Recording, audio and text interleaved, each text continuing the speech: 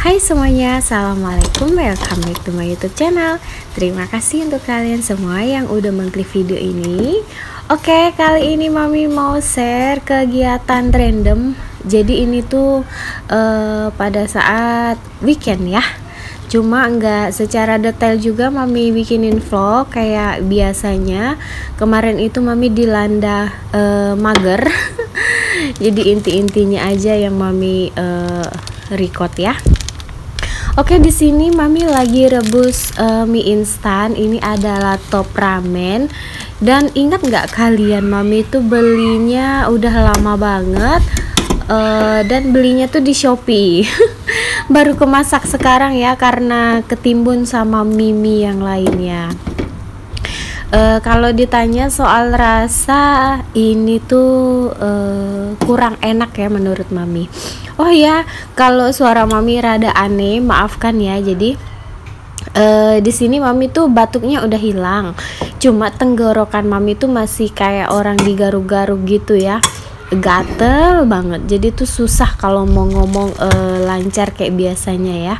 Oke ini mie instannya udah apa namanya tuh udah lembut ya mie nya di sini mami ngelakuin kesalahan airnya tuh kebanyakan alhasil agak tawar gitu loh. Jadi banyak banget yang bakal mami masukin. Nanti tuh ada kecap manis terus ada persaus-sausan. Dan sausnya tuh banyak banget mami kasih.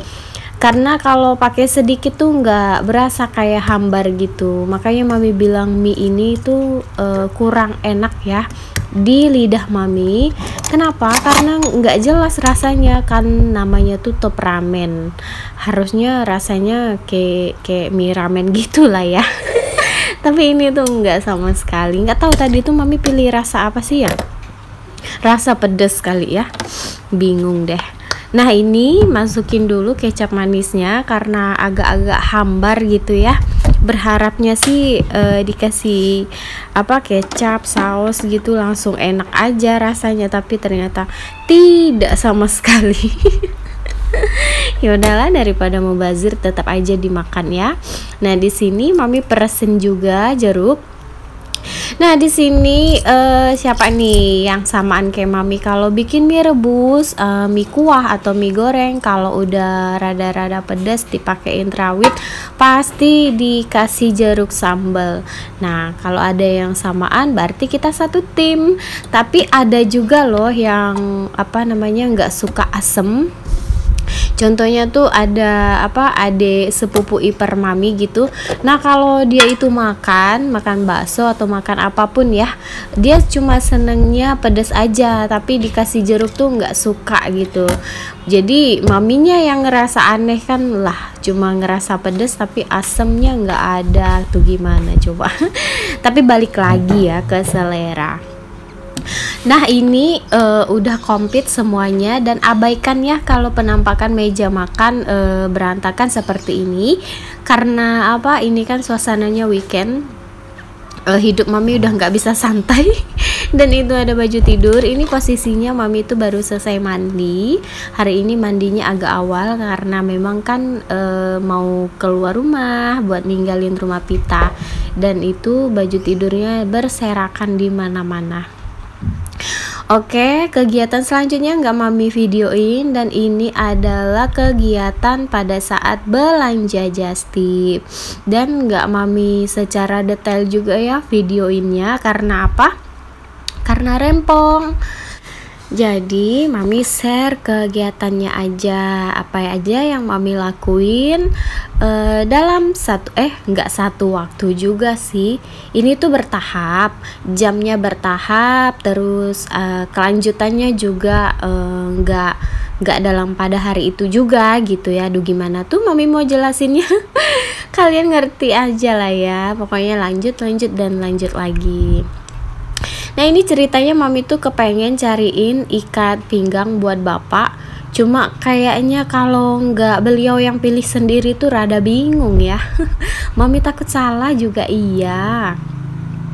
Oke lanjut, ini keesokan harinya ya. Nah ini bukan satu waktu, jadi keesokan harinya, mami juga belanja just tapi di sini nggak mami record semuanya lagi dan lagi.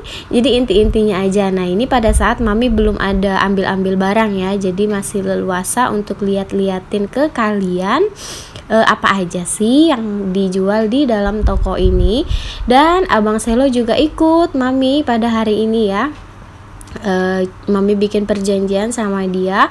Nggak boleh merengek minta pulang karena ini mami juganya lagi kerja kan bukan lagi santai Oke, ini ada mangkok kekinian yang sempet uh, sold out ya kemarin. Dan ada ready lagi nih. Jadi kalau kalian yang kemarin nggak dapet apa nggak kebagian, nah boleh deh coba ya uh, di order sama mami. Barangkali pada saat mami upload video ini pada saat mami dubbing masih ada ya mangkoknya. Karena ini cepet banget habisnya Oke ini abang Selo minta naik ke lantai dua. Nggak tahu ya apa yang mau diambil anak ini.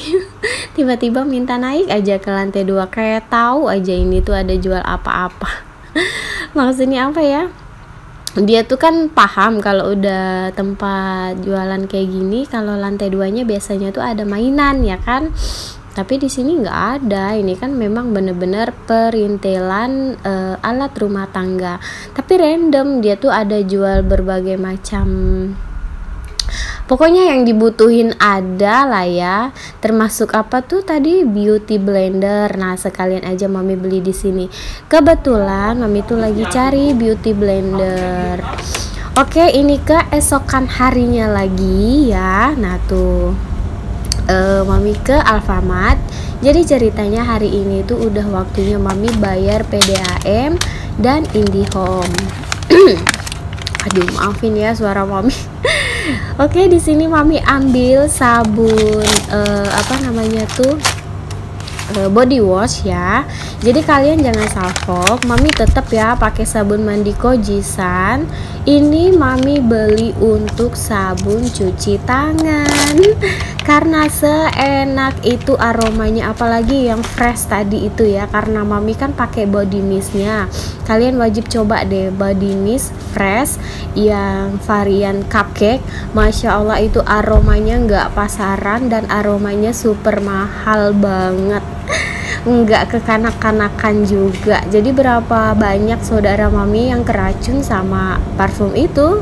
Dia tuh body mist memang nggak awet ya sesuai lah sama harganya ya cuma mami senang sama aromanya gitu makanya karena dia ada ngeluarin sabun jadi mami pilih juga sabunnya untuk cuci tangan Oke, ini ada minuman. Mami lagi intip-intip nih apa aja minumannya lagi apa promo. Tapi di sini mami ambil olate ya karena olate mami dihabisin mama kemarin.